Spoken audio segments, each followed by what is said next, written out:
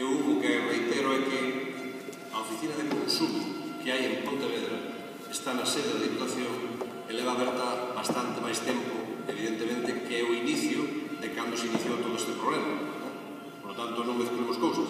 Nos abrimos unha oficina de consumo porque hai problemas na sociedade en xeral e tuvemos que doblar, porque antes non había oficina de consumo en Pontevedra. Vale? Entón, a oficina se abreu hai bastante máis tempo que ese, xa que quede claro,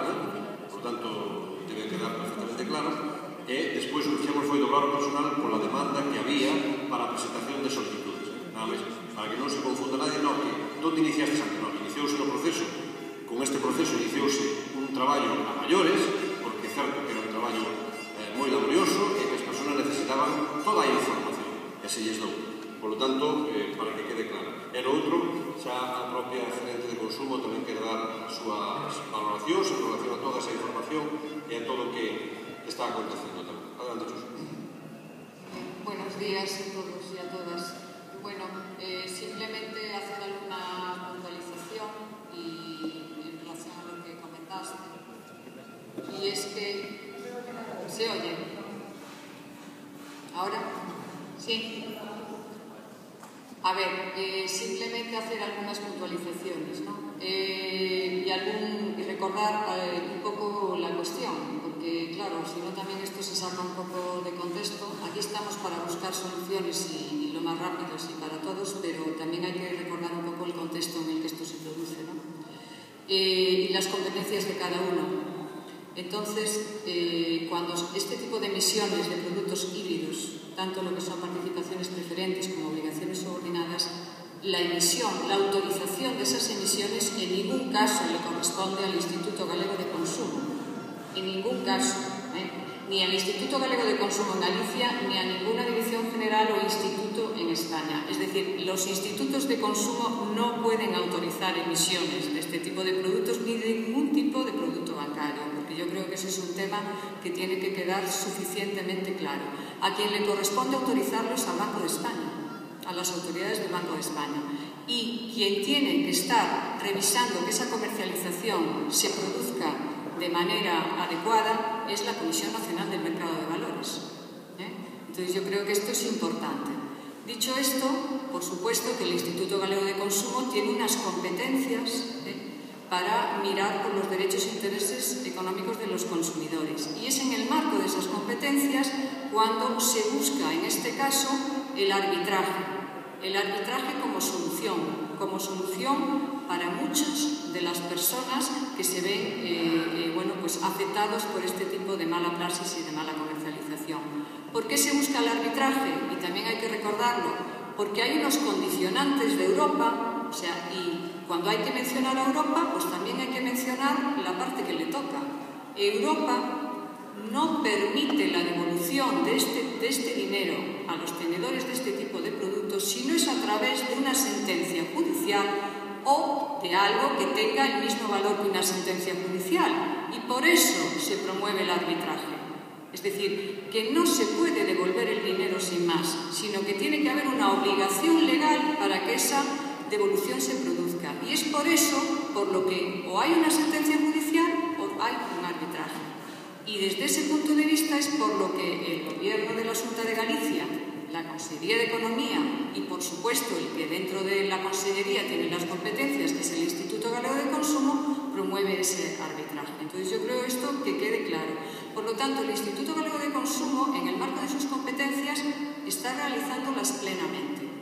Plenamente, es decir, estamos, eh, se ha puesto en marcha desde el inicio un dispositivo lo suficientemente importante como para cualquier número de aceptaciones que nos lleguen al instituto se puedan no solo tramitar, porque se tramitan con el mínimo tiempo de, para hacerlas llegar a la entidad, ¿eh? sino que cuando el banco contesta, cuando el banco nos contesta, nosotros en dos días tenemos montado el dispositivo para que se puedan producir las vistas arbitrales y emitirse los laudos también en el mínimo posible. Y yo creo que de eso sois conocedores, si no todos, pues muchos los de, las plataformas. Y eso ha permitido pues, que desde eh, eh, finales del mes de julio hasta hoy pues tengamos emitidos ese número de, ese número de, laudos. ¿no?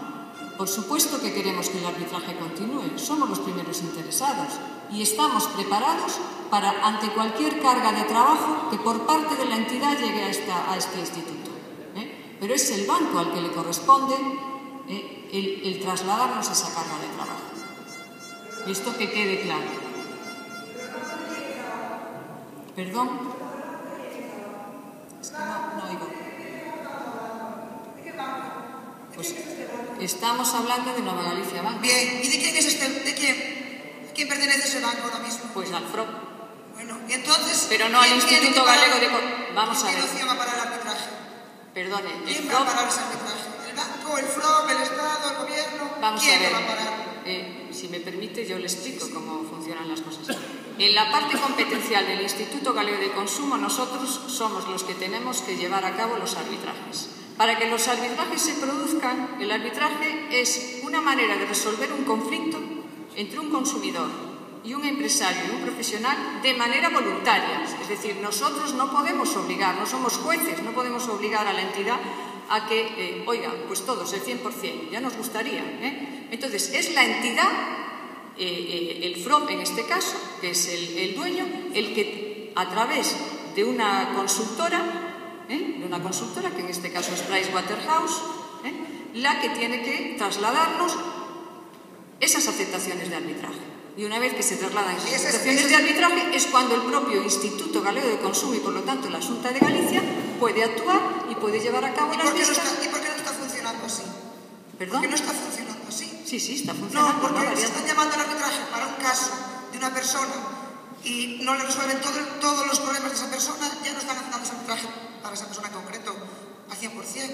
Vamos a ver. Y después todos los demás casos que quedan ahí pendientes, que ni se dar respuesta ni si están aceptados, ni si no están aceptados, ni por qué están aceptados, ni por qué no están aceptados, ni por qué se le llama a unos sí y a otros no. ¿Por qué nos tienen así? Pues, pues vamos a ver. ¿Quién En primer lugar, en primer lugar, le vuelvo a repetir lo que es el arbitraje. Es que yo creo que Sí, no sí, se sí. entiende lo que Sí, es el sí, arbitraje. No entiendo, no entiendo. No me lo repita, por favor, más, porque ahí ya no quiero perder más tiempo. Pues- lo entiendo perfectamente. A Pero es ver. que el banco no es el que está escogiendo los casos. Es No es una una- consultora externa la que está eh, eh, analizando caso a caso y decidiendo en cada caso si acepta el arbitraje. ¿Y por qué no está Y eso funcionando? está ¿Por qué de- no está funcionando? Sí, está es que funcionando. está funcionando un caso por mes. O Perdón, es casos que por no, día. no le oigo lo último. Es que no está funcionando. Es ¿El que qué no está funcionando? más lento que nunca. Es que nos está llamando desde hace tres meses prácticamente a más que dos personas al día. No, no es cierto eso. Bueno, más o menos. Más o No, menos. no, bueno, yo Bueno, de eh, 200 tengo que decirle día, que no es cierto. 20. Eh, vamos a ver, vamos a ver. Yo lo que le vuelvo a repetir es que la carga, la carga de trabajo, es decir, la comunicación de las aceptaciones, le corresponde a la entidad una vez que esa consultora externa analiza. Y que una vez que entra en el Instituto Galego de Consumo es cuando em- empieza nuestra competencia. Y lo que le puedo asegurar es que nosotros estamos preparados para llevar a cabo el número de arbitrajes diarios que nos entren. Pero no podemos obligar, porque no somos jueces, a la entidad ¿eh? a que nos remita todas las, las- las aceptaciones. Son ellos los que deciden, son ellos los que eh, toman esa decisión. ¿En base a qué? Bueno, pues en base a lo que ellos Nada, no a lo que ellos establezcan, porque vuelvo a repetirle, el arbitraje es voluntario Sí, bien, bien. y hay una ¿Por qué- normativa ¿Por qué una persona que entregó el que les permite entregó el aceptar- expediente de varias obligaciones y preferentes juntas no ya en el momento que va al arbitraje todos sus diferentes contratos? ¿Por qué Bien, no? pero eso tendrá que cambie esa preguntárselo persona, usted. Que cambien esos ahorros de unas subordinadas a unas preferentes. No, Mire, es que es mi caso.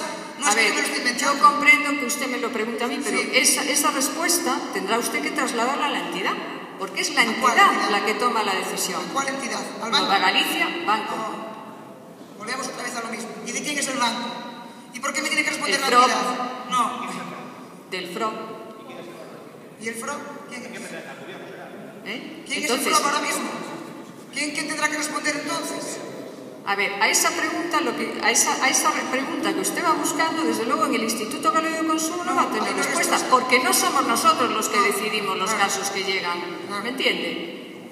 Es que no sabemos quién lo decide, ni por qué, ni más a qué. Por lo tanto, ese tipo de preguntas no, no es el sitio adecuado. No dejo la pregunta en el aire, que me lo responda quien sepa. Si usted no me la puede responder. No, no, yo no lo sé, claro que no lo sé. Cualquiera de los que estén aquí, si alguien sabe la respuesta, la dejo en el aire. No, no, eso tiene usted que dirigirse a la entidad.